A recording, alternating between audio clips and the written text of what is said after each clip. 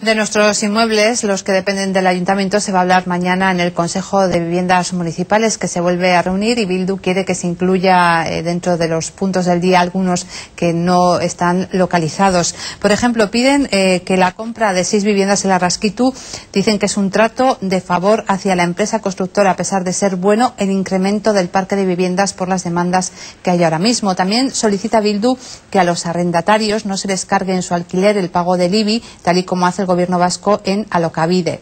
Bildu quiere que se ponga sobre la mesa la situación laboral de los trabajadores de viviendas municipales tras una nueva sentencia en la que se les da la razón sobre la vigencia del convenio colectivo y considera una mala gestión la reparcelación de Zorrozaurre, donde Viviendas Municipales ha comprado una parcela por 6 millones de euros cuando solo puede construir viviendas por valor de 3 millones de euros. Esta compra de estas seis viviendas es que esta promotora pague una deuda que tiene a través de, vivienda, es decir, es un pago en especie.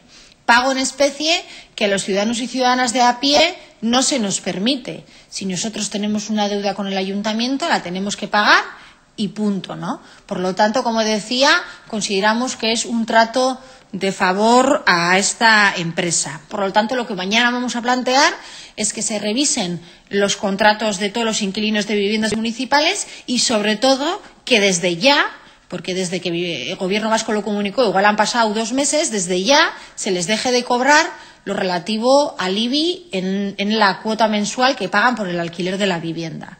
Y en ese primer reparto que se ha hecho, nosotros consideramos que Viviendas Municipales eh, ha salido muy perjudicado.